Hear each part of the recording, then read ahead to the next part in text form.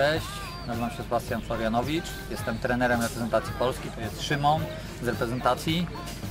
E, W zeszłym roku pierwszy raz prosiliśmy Was o wsparcie, jechaliśmy na Mistrzostwa Europy w paintballu, w tym roku jedziemy kolejny raz, jedziemy do Londynu już za 3 tygodnie.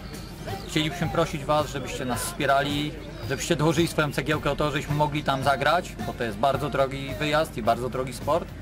Natomiast chcieliśmy Wam jednocześnie bardzo podziękować za zeszły rok, bo dzięki temu, że e, wspieraliście nas, że w zeszłym roku daliście nam pieniądze, udało nam się utrzymać tą ekipę. E, reprezentacja gra cały czas, miała szansę trenować w tym roku. E, to jest czwarty sparring w tej chwili, który reprezentacja ma. Przed nami jeszcze przynajmniej jeden albo dwa. Potem jedziemy do Londynu i tam będziemy starali się godnie reprezentować Polskę. Także bardzo Was prosimy o wsparcie, pomóżcie nam wyjechać, a my ze swojej strony obiecujemy, że zrobimy wszystko, żeby godnie reprezentować nasz kraj. Dziękujemy. Dziękujemy.